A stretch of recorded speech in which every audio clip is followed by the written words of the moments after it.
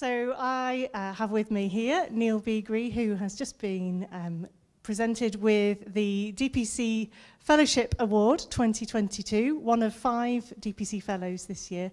Neil, how does it feel to be a DPC Fellow and to receive this award today? Um, amazing, to be honest. It's a, a wonderful thing to get it on the 20th anniversary of the DPC. Obviously, as the first secretary of the DPC, I've been involved with the DPC now for 20 years.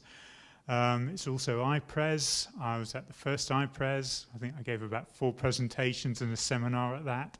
So to be back here also in Glasgow is something is it's truly wonderful. It's, it's been a fantastic day.